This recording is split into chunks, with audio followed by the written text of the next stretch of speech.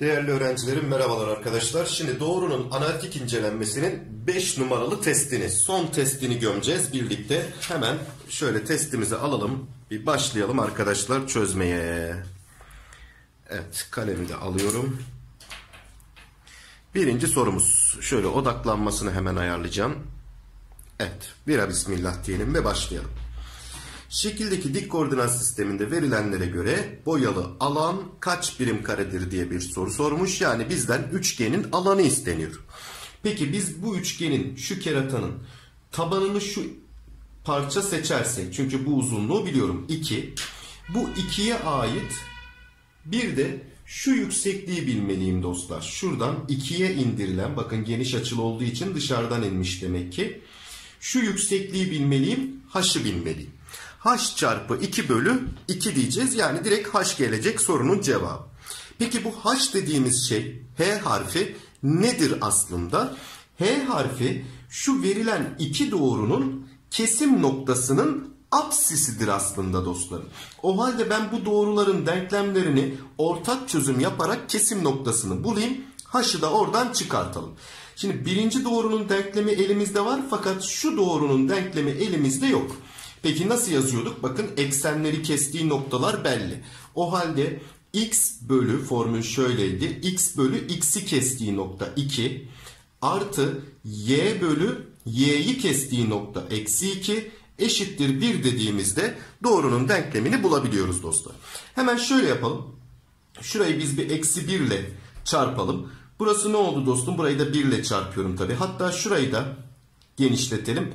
2 ee, ile çarpalım burayı da. Ne olacak burası? X gelecek. Eksi Y gelecek. Bölü 2. Buradan da 2 bölü 2'den bölü 2'ler gittiğinde 2 kalacak bir tek elimizde. Hemen altına bir de bunun şu verilen doğruyu da yazalım. X eksi 3Y eşittir 0 doğrusunu da yazdım dostum. Şimdi bunları ortak çözüm yapacağım. Yok etme metodu yapacağım ve h'ı bulacağım. h dediğim şey neydi? Kesim noktasının x'i. O halde y'leri yok edelim. Şurayı 3 ile çarpalım bir. 3 olur. 3 olur. 6 olur. Alt tarafı da eksi ile çarpalım. Eksi olur. Artı olur. Zaten 0 olduğu için bir şey değişmedi. Ve topluyorum bunları. 3x eksi x daha 2x yaptı. Şunlar zaten gittiler. Burada da bir tek 6 kaldı dostlarım. 2x 6 ise x de 3 çıktı. Yani x dediğim kesim noktasının apsisi 3 çıktı. Yani h 3 geldi. Alanı da bulalım. 3 çarpı yani yükseklik çarpı taban bölü 2'den bölü 2 ile 2 gitti. Geriye bir tek 3 kaldı. Birinci sorumuzun cevabı Ceyhan'dan çıktı. Geldik 2 numaraya. Dik koordinat düzleminde boyalı bölgede bulunmayan nokta aşağıdakilerden hangisidir diye sormuş. Şimdi dostum buradaki bazı noktaları deneyerek hani nerelere tam denk düşüyor diye mesela A şıkkındaki noktayı deneyelim hemen. Eksi bir şurada, bir şurada. Hani kesiştirdiğimizde evet hocam sanki de böyle tam içeride kalıyormuş gibi. Bunu eleyebilirsiniz. Sonra pardon bu bire birmiş hatta. Bire bir şurada oluyor değil mi? Bire bir noktası. Bakın bu kesin içeride. Bunu tamam diyebilirsiniz. İşte eksi bire bir noktasını deneyelim. Eksi bire bir hani belki dışarıda taşabilir. Orada köşegen bulmam falan gerekir diye bir şeyler yapabiliriz. Hani düşünebiliriz en azından bu şekilde. İşte 2'ye 1 noktasını denersin. 2 şurada, 1 şuradaydı. 2'ye 1 de içeride kalıyor. 1'e 2 noktası 1'e 2 şöyle şuraya denk geliyor. Bu da içeride kalıyor. Eksi 1'e 1 de içeride kalıyor. 3'e 1'e bakarsın dostum. 3 burada, 1 burada. E hocam 3'e 1 de içeride kalıyor deyip şaşırabilirsiniz. O yüzden hani yüzde yüz emin olmayız burada dostlar. Böyle şekle bakarak hangisi içeride kalıyor ya da dışarıda kalıyor yüzde yüz emin olamayacağımız için mecbur matematiksel işlemimizi biz yapalım dostlar. Şimdi ilk etapta verilen bu iki doğrunun da denklemini bir yazıyorum hemen. Birinci doğrunun denklemi x'i eksi 2'de kesmiş artı y'yi 2'de kesmiş eşittir 1 diyor. Denklem yazma formülü. X'i kestiği nokta, y bölü y'yi kestiği nokta. Arada artı var eşittir 1. Hemen bir payda eşitlemesi yapalım. Şurayı eksi 1 ile çarpalım. Şurayı da 2 ile genişletelim. Bakın ne oldu? Eksi x oldu. Artı y eşittir 2 geldi. Bu benim birinci doğrumun denklemi. Peki bunun eşitsizlik olarak nasıl yazacağız dostlar? Hemen bu eşitsizliğin yani taralı bölgenin içinde olduğunu bildiğim bakın %100 sıfıra sıfır noktası bu bölgenin içinde yeri belli. Hemen bunun arkadaşlar yerine yazacaksınız. Sıfıra sıfır yazın. Sıfır sıfır sıfır küçüktür 2 olduğu için bu doğru için eşitsizliği küçük yapıyorum dostlarım. Küçük hatta düz çizgiyle çizdiği için eşittir'i de koyuyorum. Kesik kesik çizgi çizseydi eşittir olmayacaktı. Demek ki birinci eşitsizliğim eksi x artı y küçük eşittir 2'ymiş. Şimdi ikinci doğru için yapacağız aynı şeyi. Hemen denklemini yazalım. x'i 4'te kesti. y'yi 3'te kesti eşittir 1. Payda eşitledik. 3x artı 4y eşittir 12 oldu. Şimdi sıfıra sıfırı bakalım hemen sağlıyor mu sağlamıyor mu diye. Sağlayacak değil mi bölgesinin içerisinde. O zaman sıfıra sıfır yazıyorum. 0 0 0 12'den küçük olduğu için bunun da burası küçüktür olacak. Yine doğruyu düz çizdiğinden dolayı eşittir de koydum. İşte iki doğrunun da eşitsizlik sistemini oluşturduk dostlar. Şimdi bundan sonrası şıkları tek tek denemekte. Şimdi A noktasına bakın. 1'e 1. Hemen getir burada yerine yaz. Bakalım sağlıyor mu? Sağlıyorsa bölgenin içinde. X yerine 1, Y yerine 1 yazdığında 7 küçük eşit 12 olur. Evet doğru. X yerine 1, Y yerine 1 yazdığında 0 küçük eşittir 2 olur. E bu da doğru. 1'e 1 noktası ikisini birden sağladığı için boyalı bölgenin içinde. 3'e 1 noktasını deneyelim. X yerine 3, Y yerine 1 yazıyorum. 3 yazarsam 9. Y yerine 1 yazarsam 4. Küçük eşitmiş 12'den. 13 küçük eşittir 12 oluyor. Sağlamadığına göre diğerine bakmaya bile gerek yok. Bursa şıkkı doğru cevap geldi. Evet biraz uzun mu sürüyor? Sürüyor ama çok da güzel bir AYT sorusu olur. Haberiniz olsun. 3 numaralı sorudayım. Analitik düzlemde ABC noktaları veriliyor. Buna göre ABC üçgeninin A köşesinin BC kenarına uzaklığını bulun diyor dostlar. Buna benzer bir soru önceki testlerimizde de vardı. Onu çözdük. Fakat orada nasıl çözdük? Formülü kullandık. Noktanın doğruya olan uzaklığı formülünü. Yani ABC üçgeninin BC kenarının önce bir denklemini yazdık. BC'nin eğimini bulup denklemini yazdık. Sonra denklemini doğrunun denklemini bulduktan sonra da A'nın bu doğruya olan uzaklığını gösterdik ve bulduk formülle. Ama burada BC doğrusunun denklemini yazmayacağım. Direkt şekli çizip de çözeceğim ben dostlar. Neden öğretmenim? Çünkü verilen noktalar şöyle baktığınızda bakın bir sıfıra sıfır noktası B. 13'e sıfır noktası şuralarda bir yerde olsun 13. Bu da C. Bakın çok güzel bir kenar oluşturdu burada x ekseninin üstüne denk düştü. Yani çizdiğim zaman üçgeni A noktasını da çizeyim hatta şöyle 4'e 6'ymış. Bu da A noktasıymış. Bakın ABC üçgeni gayet güzel bir üçgen çıktı. Taban çarpı yükseklik bölü 2 yapacağım. Hatta yüksekliği de şu uzunluktur 6. E tabanı da 13 geldi. 6 çarpı 13 bölü 2'den 39 bulacaktım ama yok neyi soruyor bana? Ha BC köşesine uzaklığı alanı sormuyor zaten. A noktasının BC'ye uzaklığı direkt 6 geldi dostlarım. Yani hiç böyle formül kullanmaya, noktanın doğruya olan uzaklığı formülü kullanmaya gerek kalmadı. Evet, dördüncü sorudayız. AC CB'ye eşit. Pekala. Bakın şurada bir doğru var. Hemen bu doğrunun x'ine 0 verirsem y ne çıkıyor? 8. Demek ki y'yi 8'de kesiyor. Şurası 8 birim. y'ye 0 verirsem x eşittir eksi 4 geliyor. Demek ki şurası eksi 4 noktası. Yani şurası 4 birim. Şurası da 8 birim oldu. D doğrusunun x eksenini kestiği noktayı söyleyin diyor bize dostlar. Peki şu doğrunun eğimini de söyleyelim biz. M1. Y'yi yalnız bıraktığımda x'in katsayısı 2 olduğu için bunun eğimi 2. Peki D doğrusunun eğimini bulalım hemen. Bunlar dik kesiştiği için eğimleri çarpımı eksi 1 olacak. Ne demiştik? Takla attırıp işaret değiştirdik. Bakın D doğrusunun eğimini buldum. Peki devam edelim. Şuradaki C noktası tam A ile B'nin ortası. Şimdi A'nın koordinatları 0'a 8. B'nin koordinatları da eksi 4'e 0. Peki ortayı nasıl buluyorduk biz dostlar? Yani C noktasını nasıl bulacağız? Toplayıp 2'ye böleceğiz. Eksi 4 ile 0'ı toplayın. Eksi 4. 2'ye bölün. Eksi 2. 0 ile 8'i toplayın 8. 2'ye bölün 4. Bakın C noktasını da bulduk. Eğimini de biliyoruz D doğrusunun. O halde D doğrusunun denklemini hemen yazarım ben. Yazalım. Y eksi noktanın y'si eşittir. Eğim çarpı x eksi eksi 2 yani x artı 2. Şu 2'yi buraya atarsak 2y eksi 8 eşittir.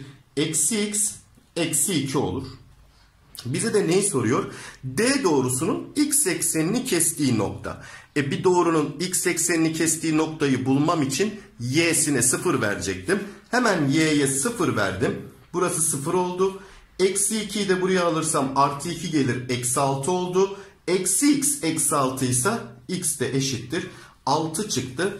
Böylelikle bulmuş olduk. Yani şu noktanın değeri 6'ymış. Dostlar biz bunu tabii ki benzerlik yaparak da bulabilirdik. Daha farklı yöntemlerle de bulabilirdik. Hatta şurayı çizip şurayı çizip burada bir ikiz kenar üçgen oluşturarak da çözebilirdik bu soruyu. Ama ben istedim ki analitiksel çözelim. Hani yoksa normalde daha kolay çözümleri de var. Bakın burayı çizdiğimde bu yükseklik kenar ortay oldu. Açı ortay da olacak diyeyim. İkiz kenar olur. Şuraya k birim deyip 4 artı k ise burası. Burası da 4 artı k. Şurası zaten 8'di. Ve bakın 6, 8, 10 üçgeni çıkar. K'yı 6 böyle de bulabilirdim. Birçok başka bir benzerlik yaparak da çözebilirdim. İki tane dik üçgeni benzerlerdim. Ama dediğim gibi ben böyle çözdüm ki hani konu analitik en azından doğrunun denklemleri nasıl yazılıyordu bunu da bir hatırlamış olduk. Eğim bulmayı, orta noktayı hatırlamış olduk. Ve geldik 5 numaralı soruya. Doğrularının oluşturduğu dörtgensel bölgenin alanı oba. Şimdi bu doğruları biraz uzun sürecek bu soru anladığım kadarıyla. Şurada şeklini çizeceğiz bir kere arkadaşlar biz. Önce bir bakalım nasıl bir şekil oluyor görelim. Şimdi her bir doğruyu tek tek çizeceğim buraya dostlar. Şimdi nasıl çiziyoruz doğruları? X'e 0 ver, Y'yi bul. Y'ye 0 ver, X'i bul. Şimdi birinci doğruda X'e 0 verirsem Y eşittir eksi 2 çıkar. Demek ki bir kere şurası eksi 2 olsun. Doğrulardan birincisi bu eksi 2'den geçiyor. Y'ye 0 verirsem X eşittir 1 çıkar. Şurası 1, şurası 2, şurası 3, şurası 4 diye yazayım. Şurası da 1 birim oldu. Birinci doğrumuz şöyleymiş. Eksi 2'ye 1'den geçiyor. Bu 1. Birinci doğruyu çizdik. İkinci doğru. X'e 0 ver, Y'yi 4'te kesiyor. 1, 2, 3, 4. Şu noktada kesiyor Y'yi. Y'ye 0 ver, X eşittir 1 çıkar. Demek ki X'i de 1'de kesiyor. O halde doğrumun şekli şöyle bir şey olacak arkadaşlarım. İkinci doğru da bu. Bunu da gösterdik. Şimdi x'e 0 ver y 4 çıkar burada. y'ye 0 ver x eşittir eksi 3 çıkar. Onu da gösterelim. 1, 2, eksi 3. O da burada. İşte bu da diğer doğrumuz. Bunu da gösterdik. Dördüncü doğru. x'e 0 ver. y'yi nerede kesiyor? Eksi 2 çıkıyor y. Burada zaten. y'ye 0 ver. x'i de eksi 3'te kesiyor. O halde diğer doğrumuz da şu. İşte diyor ki bunların arasında kalan bu dörtgenin alanı nedir diye bir soru sormuş. İster dörtgenin alan formülünü kullan. Bir dörtgenin alan formülü neydi? Köşegenleri çarp, 2'ye böl, aralarındaki açının sinüsüyle de çarp. Şimdi bunların aralarındaki açı köşegenler, şu eksenler köşegen oldu bakın. Aralarındaki açı 90 olduğu için sinüs 90 gelecek. 1 yazmaya gerek yok. Yani sadece köşegenleri çarpıp 2'ye bölsen de yeter. E hocam şurası 4. Şurası 2. Şurası 1. Burası da 3. Birinci köşegen 6. ikinci köşegen 4. Çarptım 2'ye böldüm. 24 bölü 2'den 12 geldi sorumun cevabı. Ya da şöyle de yapabilirdik. 4 tane dik üçgen var. Bak birincisi bu. 4 çarpı 1 bölü 2'den 2 gelir. İkincisi bu. 3 çarpı 4 bölü 2'den gelir. 3 çarpı 2 bölü 2'den bununki gelir. 2 çarpı 1 bölü 2'den de bu 4 üçgenin alanını tek tek bulup toplayabilirdik de dörtgenin alanını bulmak için. Evet 5 numaradayız dostlar. Dik koordinat düzleminde bilmem ne doğrusu ile eksenlerin oluşturduğu üçgensel bölgenin içerisinde eksenlere eşit uzaklıkta ordinatı tam sayı olan oh kaç tane nokta vardır? Hadi bakalım ne yapacağız görelim. Şimdi önce yine doğrunun şeklini bir çizelim mi dostlar? Şimdi x'e 0 ver. y eşittir 10 olur. y'ye 0 ver. x eşittir eksi 12 olur. Şurası da eksi 12 olsun. İşte doğrumun grafiği bu. Eksenlerle oluşturduğu bölgenin diyor arkadaşlar. Şu bölgenin. Biz doğru mu yaptık ya? y'ye 0 verdim. X eşittir eksi 12 geldi. Ana yanlış yaptık ya. y'ye 0 verince x eşittir eksi 12 geldi arkadaşlar. X eksi 12 pardon çok özür dilerim. Y'ye 0 şu değil yani şu yok. Şöyle yapayım ya hatta şuraya bir daha çizeyim ben daha iyi olsun. Beni de matematik öğretmeni yapmışlar ya. Ne diyeyim ben. Bir x'e 0 veremedik. Hadi bakalım. X'e 0 verirsek y eşittir 10 geliyor. Bakın y 10 çıkıyor. y'ye 0 verirsek x eksi 12 geliyor. Şimdi doğruyu çizdim. İşte doğrum bu.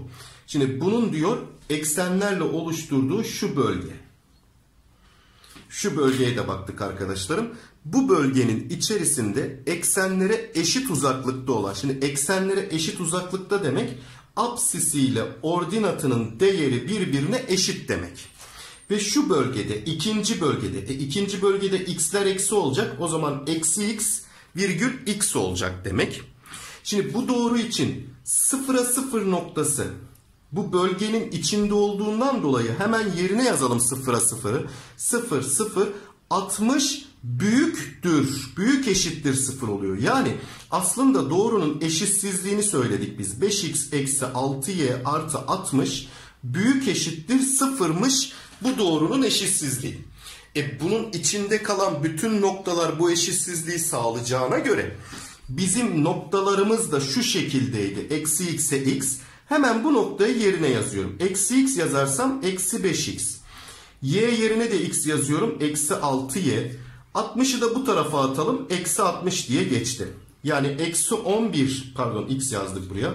Eksi 11x büyük eşittir. Eksi 60. Eksiyle çarpalım her iki tarafı. 11x küçük eşittir 60 oldu. Demek ki bizim o aradığımız noktaların özelliği neymiş? 11 katı 60'tan küçük veya eşit olacak. Şimdi hangi noktalar bunu sağlar? x'e 1 desem, daha doğrusu 0 desem sağlar mı x'e? Evet 0 desem sağlar dostum. Bölgenin içerisinde. He, bölgenin içerisinde diyor ama 0'a 0 bir daha düşünelim bunu dur. Bölgenin içerisinde ise 0 olmayabilir. 1 de, 1 desem ne olur? 11 olur burası. 1 desem sağlıyor. 2 desek 22 olur. Küçüktür 60. 3 deyince 33. 4 deyince 44. 5 deyince 55. 6 deyince 66 oluyor. Büyük çıkıyor olmuyor. Demek ki 3, 4, 5 de sağlayacak. Ama 0'a 0 noktası bu bölgenin içinde değil. Bak üçgenin üstünde. Üstündekilerden istemiyor. İçinde kalanları istiyor bizden. Sıfırı sildim o yüzden arkadaşlarım. Yani 6'yı işaretlemeyin sakın. 5 tane nokta vardır bunları sağlayan diyebilirsiniz. Evet sorumuzun cevabı Bursa. Geçtik bunu arkadaşlar şimdi. Geldik 7. sorumuzu aldık önümüze. Dik koordinat düzleminde bir kenar uzunluğu bir birim olan düzgün altıgenler verilmiş. Buna göre A ve B noktalarından geçen doğrunun denklemi. Şimdi biz burada A ve B noktalarını bulalım. Dostum düzgün altıgenin bir kenar uzunluğu bir birim ise bunun kısa köşegeni neydi düzgün altıgende? Kenarın kök 3 katı. O zaman bir kök 3. Yani şu kısa köşegen dediğim şuradan karşılıklı inen kenarları birleştiren doğruya kısa köşegen deniyor arkadaşlar. Şununla aynı uzunluktadır sonuçta. Kök 3 birim. O zaman bakın şuraya bir hesaplayalım. Şurası bir kök 3. Şurası 2 kök 3. Şurası da onun yarısı. Kök 3'ün yarısı. Ne yaptı? Kök 3 bölü 2. Yani 2 kök 3 ile kök 3 bölü 2'nin toplamı 4. 5 kök 3. Burası 5 kök 3 bölü 2. Yani 0'a 5 kök 3 bölü 2 noktasıymış burası. Peki. Düzgün altıgende şu karşılıklı köşeyi birleştiren doğru bizim uzun köşegenimizdi ve bir kenarın hep iki katıydı. O zaman şurası bir kenar bir. Şurası uzun köşegen iki. Bir kenardır bir. Yarım uzun köşegendir o da bir. O halde toplarsak 2, 3, 4, 5 birimde burasıdır. Demek ki A eksi 5'e 0 noktasıymış. A'yı da bulduk. Şimdi bizden de A ve B'den geçen doğrunun denklemini istiyor. Eksenleri kestiği noktalar belli. O halde x bölü x'i kestiği nokta artı y bölü y'yi kestiği nokta 5 kök 3 bölü 2'yi de buraya ters çevirip çarptım. Eşittir 1 dediğim işte bunu da düzenlediğinde sorunun doğru cevabı geliyor dostum. Hadi şöyle yapalım. Burayı eksi kök 3 ile çarpalım. Burayı da 1'dir paydası 5 kök 3 ile çarpalım. Eksi kök 3 ile çarparsam bakın 5 kök 3. Bu da zaten 5 kök 3 oluyor. Ne oldu burası şimdi? Eksi x kök 3 oldu. Artı 2y oldu. Eşittir 5 kök 3 geldi. Hangi şıkkımızda var? 2y eksi x kök 3 eksi 5 kök 3 olarak bu tarafa atmış eşittir 0 demiş. Adana şıkkında doğru cevabı gördüm arkadaşlar direkt. 8 numaradayız. Analitik düzlemde absis ve ordinatı asal sayı olan noktalara. Hmm. Şimdi absis ve ordinatı asal olacak. Yani mesela asal sayılar neydi? 2, 3, 5, 7, 9 diye gidiyor bunlar. Şey 9 yok lan ne 9'u? 2, 5, 7, 13, 11 bunlar bizim asal sayılarımız. Fakat şurayı gördüm. Toplamları 7'den küçük olacağı için hani 7'den ötesini yazmadım bir daha. X ile Y'de yani noktamızın apsis ve ordinatı da sıfırdan büyük olacakmış. Buna göre bu bölgede yani şu eşitsizlik sistemini sağlayan kaç tane asal çift noktası yani apsis ve ordinatı asal olan sayı vardır diye soruyor. Şimdi şunu yazayım buraya. X artı Y küçük eşittir 7 olacak. Bu şartı da sağlayacak. Şimdi 2 için deneyelim. 2'nin yarına 3'ü koysam 2, 3 daha 5 7'den küçük oldu. 2'nin yanına 5'i koysam 2, 5 daha 7 eşittir de olduğu için sağladı. 2'nin yanına 2'yi koysak e bu da sağladı değil mi? Toplamları 4. Çünkü sonuçta farklı olacak demiyor. Absisle ordinat aynı olacak. Peki bunları bulduk. Şimdi geldik 3'e. 3'ün yanına 2'yi koysam 2'ye 3 var hocam. 3'e 2'yi niye almıyoruz? E 2'ye 3 ile 3'e 2 farklı noktalar değil mi? İkisini de almak zorundayım ben. Almayacağız diye bir kural yok. Peki 3'e 2 olduğu zaman toplamları 5 7'den küçük oluyor. Sonra 3'e 3 oluyor mu dostlarım? Tabii ki toplamları 6 yapıyor 7'den küçük. 3'e 5 oluyor mu dostlarım? Hayır hocam 3'e 5 olmuyor. Neden? Toplamları 8 yapıyor.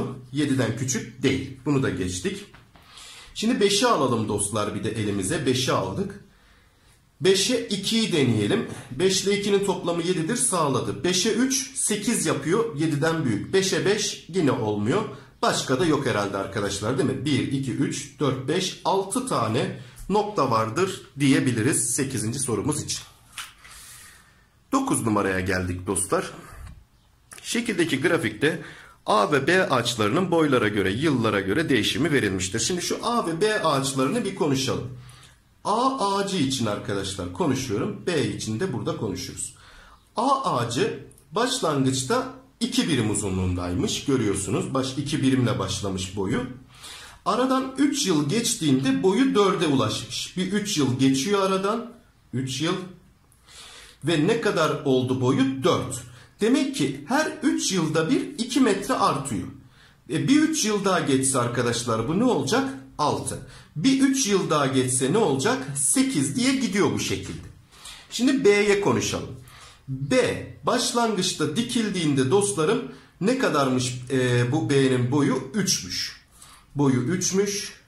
Ne olmuş sonra 3 yıl geçtiğinde bir birim artmış boyu. Bakın 3'ten 4'e çıkmış. 3 yıl geçtiğinde bir birim artmış 4 olmuş. Şurada eşitlendiler zaten bunlar. İkisi de eşit. Yani ilk dikildikten 3 yıl sonra boyları eşitlendi. Peki bir 3 yıl daha geçerse bir birim artacağı için 5. Bir 3 yıl daha geçse arkadaşlarım bir birim artacağı için 5, 6 mı oldu dostlar? Bakın şuna dikkat edin. 4'e 4 oldu burada. Şimdi 6'ya 5 aralarındaki fark ne? Fark 1. 8'e 6 fark kaç oldu? Fark 2. Bize diyor ki A ile B arasındaki fark 9 olsun diyor dostlar.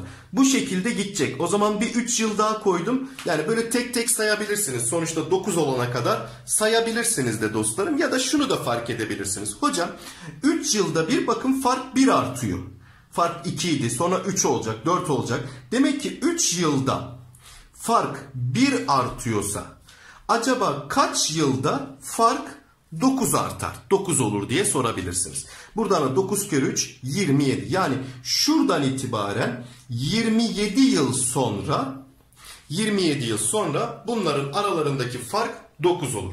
E bir de daha ilk baştan bir 3 yılda şuradan geçirmiştik dostlarım. Ta ilk dikildikten sonra eşitlenene kadar da bir 3 yıl geçmişti. 27, 3 de buradan toplamda 30 yıl sonra ee, ilk baştan itibaren 30. yılın sonunda aralarındaki fark 9 olur dedik. Ve geldik 10 numaralı sorumuza.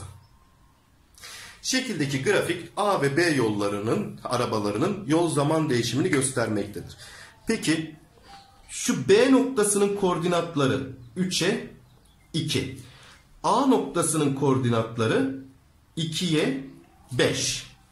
Diyor ki 8 dakika sonra aralarındaki yol farkı kaç kilometre olur diyor dostlarım. Bir ezan okunuyor. Ben bir durdurayım burada. Tamam mı? Saygısızlık olmasın. Hemen birazdan devam edeceğim zaten. Evet dostlar ezanımız bitti. Devam ediyorum kaldığım yerden. Bu arada şunu fark ettim. Burası 3'e 3 noktasıymış. Onu da yazalım. Şimdi ben bu soruyu iki farklı yolla çözeceğim size dostlar. Birinci yolu diyelim ilk önce. Şimdi bunlar doğrusal fonksiyon oldukları için dostlarım bunların bir kere e, aldıkları yolları bir kere eşit zamanda bulmak istiyorum ben. Yani 3 dakikada 2 dakikada değil de ikisinin de aynı dakikada ne kadar fark var aralarında bunu bulacağım dostlar. E 3 ile 2'yi nerede eşitlerim? 6'da. O zaman bunu 3 ile genişletelim. Bakın 3 ile genişlettiğimde ne olur bu? 6'ya 15 olur.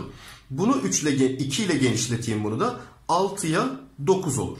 Ve şu anda 6. dakikada aralarındaki fark nedir bunların? 6. Bize neyi soruyor? 8 dakika sonra yok 2 ile genişletiyorduk. Burası 6 pardon. Aralarındaki fark 9 olur. Yani 6. dakikada aralarındaki fark 9 ise 9 kilometre ise acaba 8. dakikada aralarındaki fark nedir diye sorup buradan x'i hemen 72 yapıyor şurası. 6x x eşittir de 72'yi 6'ya böldüm. 12. dakikada aralarındaki uzaklık 8 şey 8. dakikada aralarındaki uzaklık 12 kilometredir